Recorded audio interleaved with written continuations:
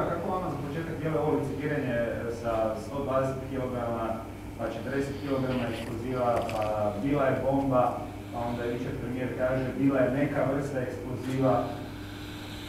Dakle, ja nisam stručnjak niti želim na bilo kakav način komentirati nešto što je još u tijeku, a očito je istraga još u tijeku, ali očito mi na vlasti imamo neozbiljne ljude koji su prije završetka istrage spremni davati takve izjave, uzbunjivati građane i hrvatski narod. Ja o toj temi jako malo znam, dakle i ne želim bilo što komentirati, ali e, mislim da je e, svakom sa imalo razuma jasno da ministar Banožić nakon ovoga više ne može biti ministar. Dakle, ne samo zbog činjenice da se to dogodilo, a da naša protuzračna obrana nije reagirala, da nismo bili ili obaviješteni, da uopće možda nismo pratili tu bespilotnu letjelicu, nego i zbog same komunikacije nakon ovog neviđenog incidenta. Tako da ovaj, ja ne znam što taj čovjek uopće više radi kao ministar.